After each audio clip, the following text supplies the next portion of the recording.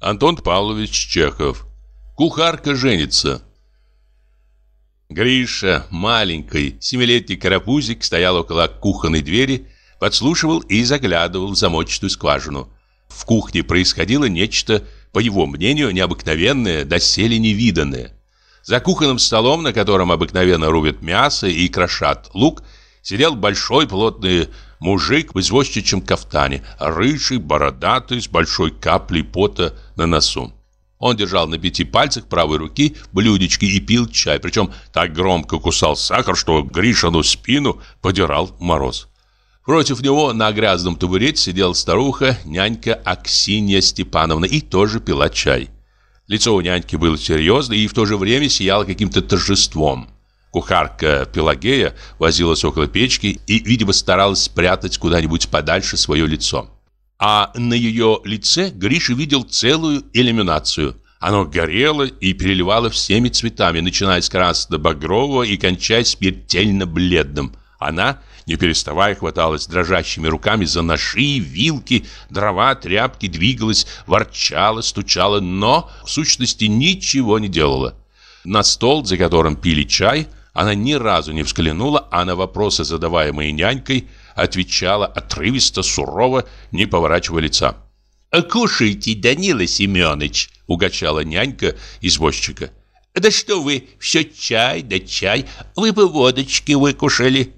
И нянька придвигала гостю сороковушку и рюмку, причем лицо ее принимало ехиднейшее выражение. «Не потребляюсь, нет», — отекивался извозчик. «Не невольте, Аксидия Степановна». «Какой же вы, извозчики, а и пьете? Холостому человеку невозможно, чтоб не пить. Вы кушайте». Извозчик косился на водку, потом на ехидное лицо няньки, и лицо его самого принимало не менее ехидное выражение. «Нет, мол, не поймаешь, старая ведьма». «И не пью, увольтесь. При нашем деле не годится это малодушество. Мастеровой человек может пить, потому он на одном месте сидит. Наш же брат завсегда на виду в публике. Не так ли -с? Пойдешь в кабак, а тут лошадь ушла. Набьешь, ежели еще хуже. Того и гляди, уснешь или с козел свалишься. Дело такое. А вы сколько в день выручаете, Данила Семенович? Какой день? В иной день на зелененькую выездишь, а в другой раз таки без гроша к двору поедешь. Одни разные бывают. Ночью наше дело совсем ничего не стоит. Извозчиков, сами знаете, хоть пруд пруди сено дорогой, а седок пустяковый норовит все на конке проехать. А все ж, благодарить Бога, не на что жаловаться. И сыты, и одеты, и можем даже другого кого осчастливить. Извозчик покосился на Пелагею. Ежели им по сердцу. Что дальше говорилось, Гриша не слышал подошла к двери мамаши и послала его в детскую учиться. «Ступай учиться, не твое дело тут слушать». Придя к себе в детскую, Гриша положил перед собой родное слово, но ему не читалось. Все только что виденное и слышанное вызывало в его голове массу вопросов. «Кухарка женится», — думал он. «Странно. Не понимаю, зачем это жениться? Мамаша женилась на папаше, кузина Верочка на Павле Андреевиче. Но на папе и Павле Андреевиче, так и быть уж, можно жениться. У них есть золотые цепочки, хорошие костюмы. У них всегда сапоги вычинные. Но жениться на этом страшном извозчике с красным носом в валенках? Фи! И почему это няньке хочется, чтобы бедная Пелагея женилась? Когда из кухни ушел гость, Пелагея явилась в комнаты и занялась уборкой. Волнение еще не оставило ее. Лицо ее было красно и словно испуганно.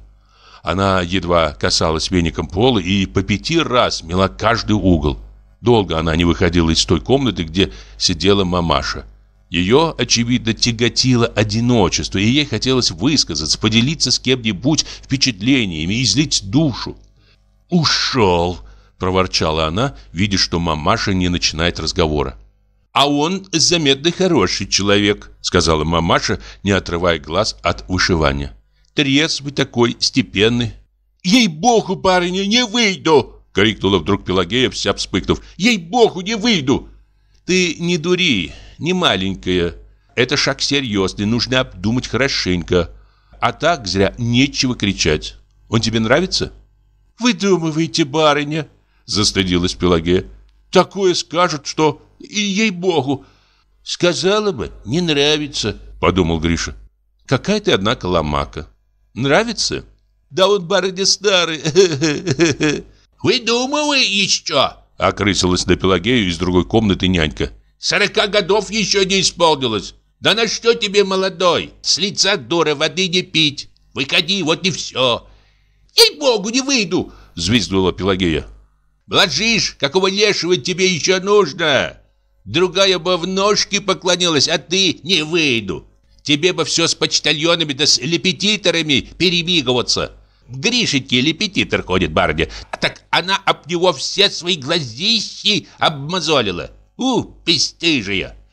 Ты этого Данилу раньше видала? Спросила барыня Пелагею.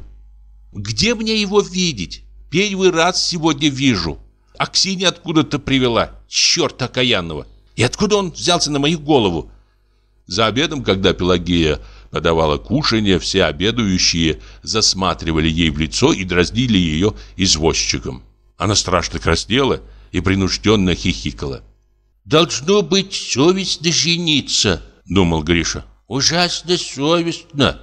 Все кушанья были пересолены, из недожаренных цыплят сочилась кровь, и в довершение всего во время обеда из рук Пелагеи сыпались тарелки и ножи, как спохилившиеся полки, но никто не сказал ей ни слова упрека, так как все понимали состояние ее духа. Раз только папаша сердцем швырнул салфетку и сказал мамаше, «Что это у тебя за охота всех женить да замуж выдавать? Какое тебе дело? Пусть сами женятся, как хотят». После обеда в кухне замелькали соседские кухарки, горничные, и до самого вечера слышалось шушуканье. Откуда они пронюхали о сватовстве, бог весть. Проснувшись в полночь, Гриша слышал, как в детской за занавеской шушукались нянька и кухарка. Нянька убеждала, а кухарка то схлипывала, то хихикала. Заснувший после этого, Гриша видел во сне похищение Пелагея Черномором и ведьмой. С другого дня наступило затишье. Кухонная жизнь пошла своим чередом, словно извозчика и на свете не бывало. Изредка только нянька одевалась в новую шаль, принимала торжественно суровое выражение и уходила куда-то часа на два, очевидно, для переговоров. Пелагея с извозчиком не видалась, и когда ей напоминали о нем, она вспыхивала и кричала. «Да будь он трижды проклят, чтобы я о нем не думала! Тьфу!» Однажды вечером в кухню, когда там Пелагея и нянька что-то усердно краили, вошла мамаша и сказала, «Выходить за него ты, конечно, можешь, твое дело. Но, Пелагея, знай, что он не может здесь жить. Ты знаешь, я не люблю, если кто в кухне сидит. Смотри же, помни. И тебя я не буду отпускать на ночь». «И бог знает, что вы думаете, барыня!» — взвизгнула кухарка. «Да что вы меня им попрекаете? Пущай он сбесится!» Вот еще навязался на мою голову, чтоб ему...» Заглянув в одно воскресное утро в кухню, Гриша замер от удивления. Кухня битком была набита народом. Тут были кухарки со всего двора, дворник, два городовых, унтер с нашивками, мальчик Филька.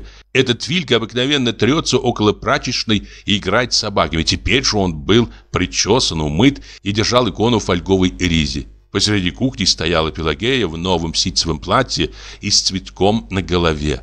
Рядом с ней стоял извозчик. Оба молодые были красные, потные и усиленно моргали глазами. «А ну, скажи все время!» Начал унтер после долгого молчания. Пелагея заморгала всем лицом и заревела. Унтер взял со стола большой хлеб, стал рядом с нянькой и начал благословлять. Извозчик подошел к унтеру, бухнул перед ним поклон и чмокнул его в руку. То же самое сделал он и перед Аксиньей. Пелагея машинально следовала за ним и тоже бухла поклоны. Наконец отворилась наружная дверь, кухню пахнул белый туман, и вся публика шумом двигалась из кухни на двор. «Бедная, бедная!» — думал Гриша, прислушиваясь к рыданиям кухарки. «Куда ее повели? Отчего папа и мама не заступятся?» После венца до самого вечера в прачечной пели и играли на гармонике. Мамаша все время сердилась, что от няньки пахнет водкой и что из-за этих свадеб некому поставить самовар. Когда Гриша ложился спать, Пелагея еще не возвращалась. «Бедная, плачет теперь где-нибудь в потемках», — думал он. «А извозчик на нее циц, циц». На другой день утром кухарка была уже в кухне. Заходил на минуту извозчик, он поблагодарил мамашу и, взглянув сурово на Пелагею, сказал «Вы же, барыня, поглядываете за ней, будьте за место отца матери, и вы тоже, Аксинья Степановна, не оставьте, посматривайте, чтобы все благородно, без шалостев. А также, барыня, дозвольте рубликов пять в счет ейного жалования. Кому надо купить новый. Опять задача для Гриши. Жила Пелагея на воле, как хотела, не отдавая никому отчета. И вдруг, ни с того ни с сего, явился какой-то чужой, который откуда-то получил право на ее поведение и собственность. Грише стало горько. Ему страстно, до слез захотелось приласкать эту, как он думал, жертву человеческого насилия. Выбрав кладовой самое большое яблоко, он прокрался на кухню, сунул его в руку Пелагеи и опрометью бросился назад. Антон Павлович Чехов. Кухарка женится. Читал Джахангир Абдулаев. 2 мая 2022 год.